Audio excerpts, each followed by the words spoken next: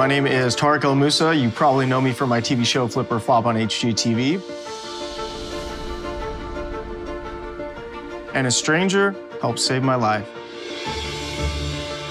It was the beginning of season two of Flip or Flop. I'm shooting my show, I'm returning emails and text messages, I'm busy with work, and then I get the email from the nurse out of Texas. This is not a joke.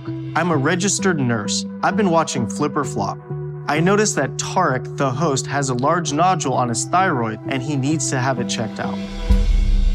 Right away, like my heart dropped, and, and I knew that if a nurse took the time, energy, and effort to send an email from Texas to mention my neck, there's probably something wrong. I seriously went to the doctor the next day. So I found out that I had full blown stage three thyroid cancer.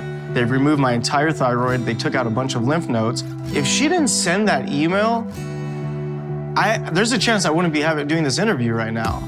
You know, if she didn't send that email, there, maybe there are other people out there that never would have found out they had cancer because I didn't have my story.